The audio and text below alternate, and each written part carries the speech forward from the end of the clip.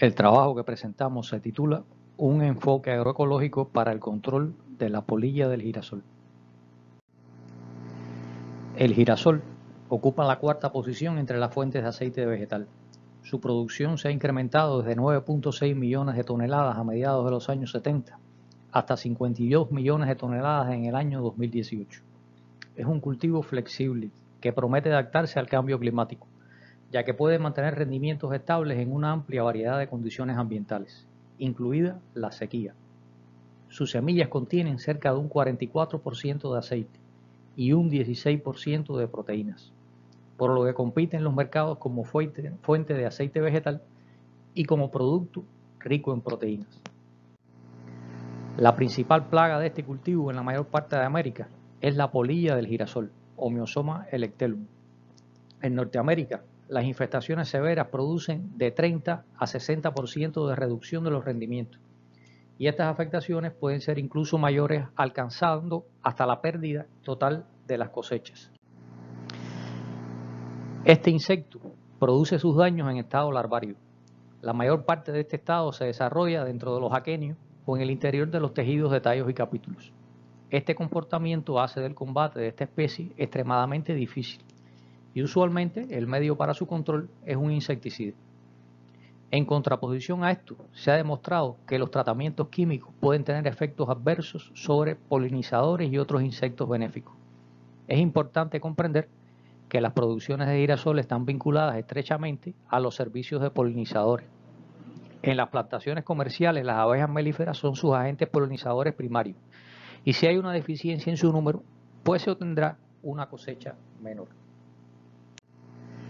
Teniendo en consideración los hechos expuestos, se establece como objetivo principal formular una estrategia ecológicamente sostenible para el control de la polilla del girasol, fundamentada en el conocimiento de su interacción con el cultivo y el ambiente. Para la consecución de este objetivo, se caracterizaron los daños ocasionados por este insecto en diferentes cultivares. Se estableció el periodo crítico para conseguir su control en relación a la fenología del cultivo y se evaluó la eficacia de varios agentes biológicos entomopatógenos. Se probó que una vez que se ha superado la etapa fenológica en que hay flores y polen disponibles, las larvas de Homeosoma electelum no podrán desarrollarse, aun cuando continúe la actividad reproductiva de los adultos se estableció que las aplicaciones de agentes de control deben ser realizadas durante el intervalo demarcado por 1278 y 1581 grados Celsius día. Esto, claro está, es en tiempo termal. Teniendo en cuenta esta conducta, el intervalo crítico para el combate de homeosoma puede estimarse entre el 65% de la duración del ciclo hasta alcanzar el fenostado reproductivo 9 según la escala de Schneider y Miller en el 81, y el 84% hasta alcanzar el mismo fenoestado. Se determinó que realizando aplicaciones de compuestos activos durante este intervalo se pueden proteger las plantaciones mientras dura el periodo de floración y se extiende además esta protección a plantas que florecen tempranamente. Estas plantas precoces pueden generar infestaciones a partir de larvas en itares superiores al tercero. Ya las larvas en estados superiores a L3 son capaces de alimentarse de la base de tallo en los capítulos y de aquenio formado. No necesitan de la presencia de polen para iniciar la infestación en una planta y pueden pasarse de unas plantas a otras. Estas larvas tempranas son muy difíciles de combatir puesto que se encuentran protegidas dentro de los tejidos de las plantas cuando el resto de las larvas se encuentran en su etapa más vulnerable. De acuerdo a este modelo, las medidas de combate aplicadas estarían concentradas en un corto periodo, reduciendo los costos e incrementándose la eficacia. Puesto que un déficit en el número de abejas en las áreas de cultivo causa una reducción de las cosechas de girasol, cada programa para el control de Homeosoma electelum y los programas para la polinización del girasol deben estar acomodados, de modo que se pueda obtener una, exitosa producción de semillas. Analizados estos hechos, una solución a este problema sería el uso de las abejas para diseminar agentes de control biológico, a la vez que realizan su actividad de polinización, Con el objetivo de desarrollar esta estrategia, se establecieron dos tratamientos en parcelas de 10 de 150 metros cuadrados cada uno. Un tratamiento consistió en exponer a las plantas de girasol florecidas a la acción de una colmena de abejas, a la que se suministró periódicamente inóculo de Bauberia baciana, para que fuese transportado por las abejas a los capítulos. Y el otro tratamiento en el cual se colocó solo la colmena sin el suministro de inóculo. Debido a la imposibilidad de aislar los dos tratamientos en el campo e impedir de esta manera que se confundieran los resultados, estos se aislaron de forma temporal.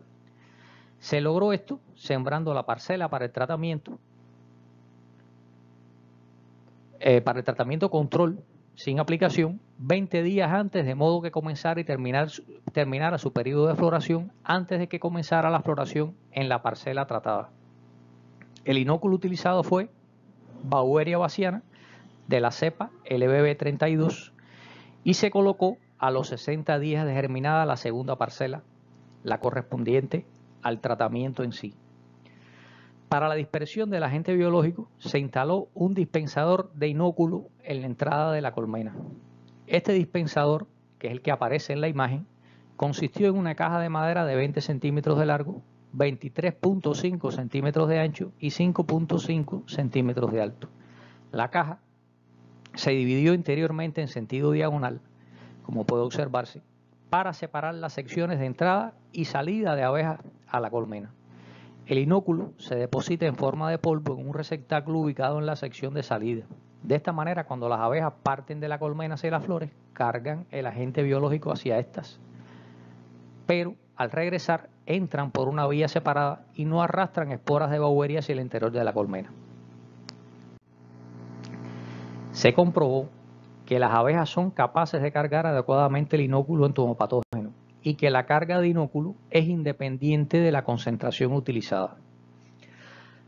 Así que eh, esta capacidad de carga parece estar determinada por la estructura de las abejas en sí, por las diferentes eh, elementos estructurales que tienen en su cuerpo, eh, pelos, depósitos, etcétera, y que estos elementos son los que delimitan la capacidad de inóculo que son capaces de transportar las abejas hacia el campo.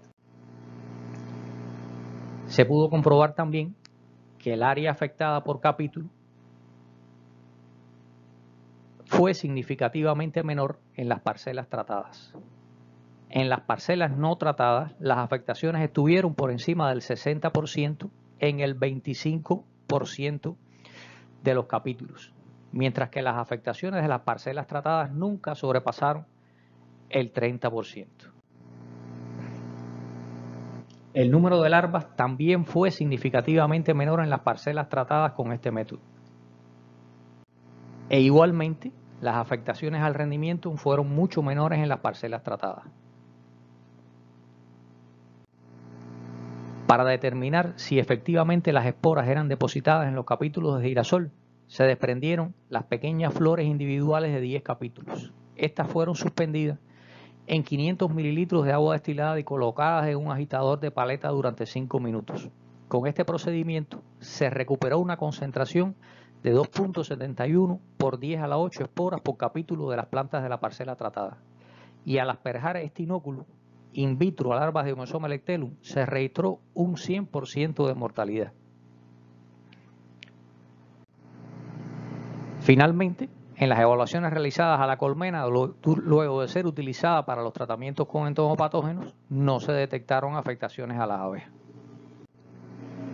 Como conclusiones de este trabajo, podemos decir que se puede controlar eficazmente a la polilla del girasol utilizando abejas de miel como vectores de Baueria baciana y que no se detectaron afectaciones a las abejas debido a su exposición ante el hongo entomopatógeno. Muchas gracias por su atención. Esperamos que el trabajo les haya resultado interesante.